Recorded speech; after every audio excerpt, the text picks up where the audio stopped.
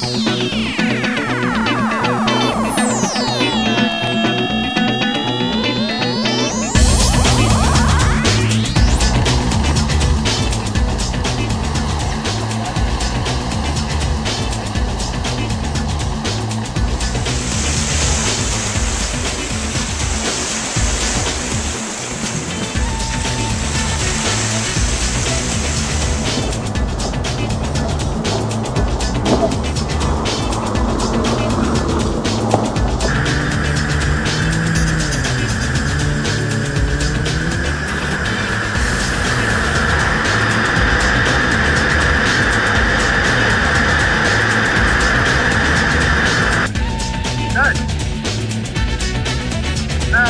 has to be down in my pocket.